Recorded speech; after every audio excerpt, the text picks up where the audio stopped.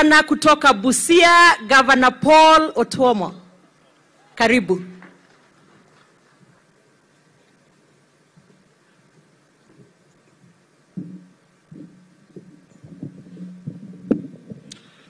Your Excellency, the President of the Republic of Kenya, the Deputy President, our Prime Cabinet Secretary, all protocols observed.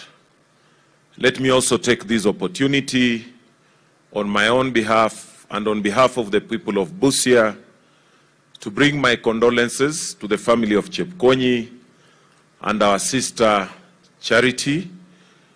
I would have been here with your sister from Meru, but the mom was not feeling well. She traveled, she's in Meru, lakini pia anasema pole. Kwa wale wajui, pia mimi nilitembea hiyo safari ya Chepkonyi na nikapata msichana kutoka kwa Mbabu kule Nyambene.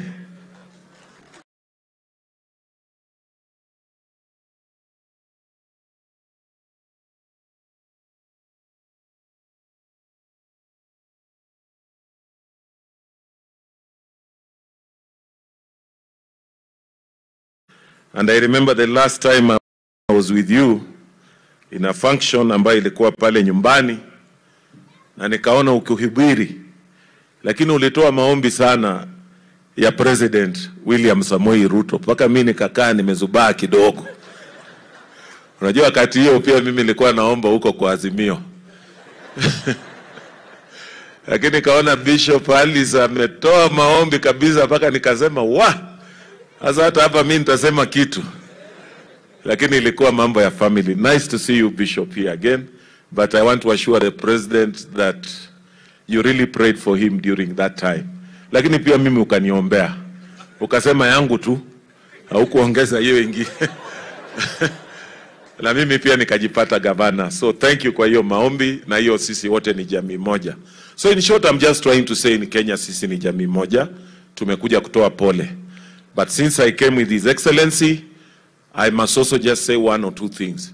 Your Excellency, I want to thank you on this economic transformative agenda ambayo uko nayo, na tuliketi pamoja na tukasema kama kule Busia, unajua si ndio tulikuwa chini kabisa, one of the lowest counties of the lowest, ile mnasema bottom.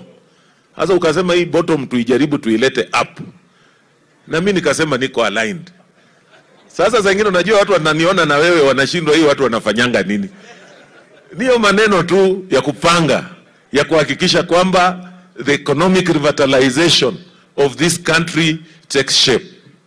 Na nimekuwa na opportunity, ukanipa waziri hapa, ni kama tingatinga, tunaongea kila saa. Kuria huyu rafiki yangu, sasa sisi mambo yetu ni uchumi tu, ndio tunapanga that Busia itoke kule bottom ikue up na unajua pia mi nilikuwa na ile tunaita nini World economic revitalization program ya ward inatoka kwa ward ikipanda hivyo kwa county ikipanda. Si unaona inaingiana?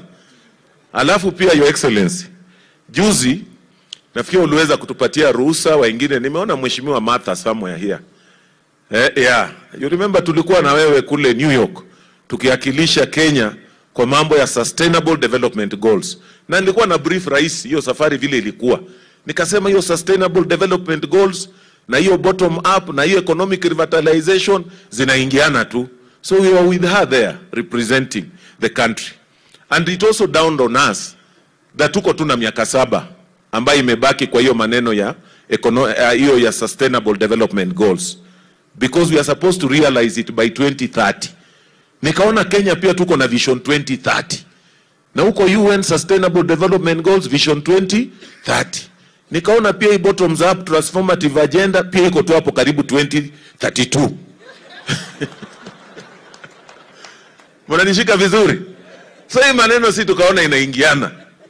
So mimi nimeshikilia hapo. Na vile rais husema si mimi mnajua nilichaguliwa kwa azimio. Lakini you see after elections we have got a responsibility to this country. We must love this country more than we love ourselves. There's no way we are going to transform this country if we are not supporting and doing the right things for Kenya.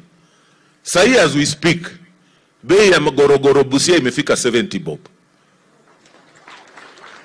70 shillings. Kwa sababu gani? Mbolea tulipewa, mbegu tulipewa, watu walilima. Sasa hii gorogoro, si nimekuambia your excellency, watu wamejaa huko ni 70 bob. Hapa nyinyi mmengoja kuvuna, si tumeshavuna, tuna prepare the second sea season. If we all do that, Mheshimiwa Charity, uh, Martha, sorry, Martha. So nakumbuka tukiambiwa Kenya can be the, the Singapore of Africa. The other day nikakuwa na American ambassador pia akasema the same.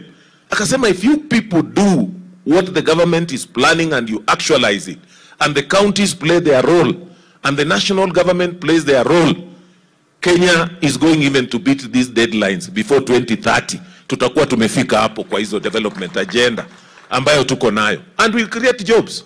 So I want to thank you that Busia was the first county ambayo umetuma waziri yako last week tukafanya ile ground breaking ceremony ya ile ya county eh, industrial parks. Na kazi inaendelea. Na sisi tayari tunapa tunapanda. So hivi karibuni tena tutakuita tu kuendelesha hapo. Pahali tumewachia, waziri aliwachia, and we want to thank you for giving Busia that opportunity to showcase it for the rest of the country.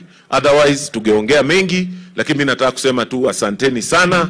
Mungu awabariki, and my sister, may the good God, may the good Lord give you grace.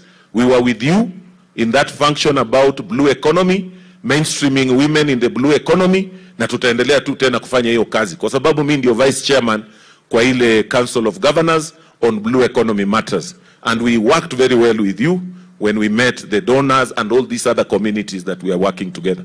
Thank you and asante sana Rais kwa kunikubalia kuweza kufika hapa. Shukran, Mungu awabariki. Asante sana gavana kutoka Busia na asante kwa kushikilia serikali ya William Ruto.